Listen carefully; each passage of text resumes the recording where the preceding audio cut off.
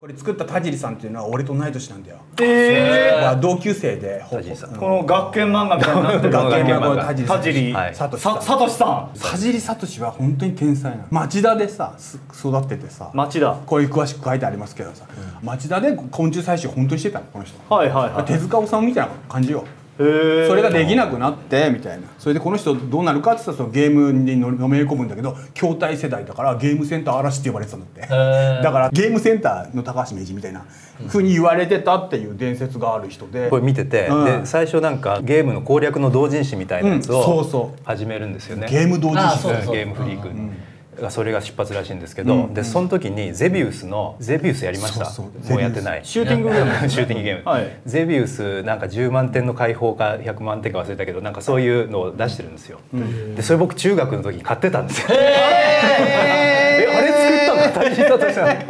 僕中学ぐらいの時に、そうなんだ。切手を300円ぐらいどっかに送って、でこんな、こんなねコピーしてホチキスで閉じましたっていう感じのゼビウスの攻略本を見て、でアンドアジェネシスが出てきた時は、ああの下から1行開けてそこであの待って、それで攻撃がやんだら4つ倒してとかなんか好きやん。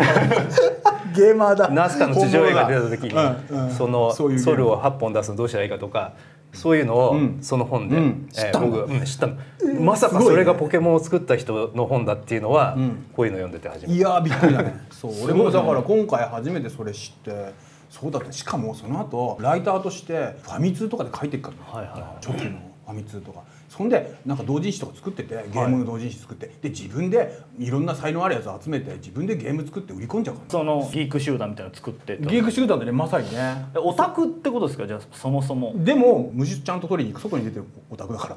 ああ そう。でゲームセンターに行くオタクっていうか。だからまだそのまだ引きこもる前の時代の人なんだよ、この人って。まだまあ俺と同じ世代だから、まあ、そういう外とはまだつながってる時代の人だな。だから自分で作って本当売り込みに行くっていう。ゲームセンターに行く系オタクなでもなんかねオオタクって感じではないよねこの人はね。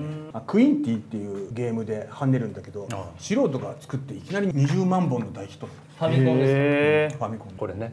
これ。えへえナム。コだ？このゲーム。でこの人がゲーム会社でソフトを実際に作るようになってその時に初期のゲームボーイがね発売されててそこでのソフトの開発っていうのを、まあ、やれって言われてでなんか最初にポケモンの企画が通んなくってでしばらく待たされるんだけどその間にヨッシーの卵とかマリオとワリオとか作ってんの。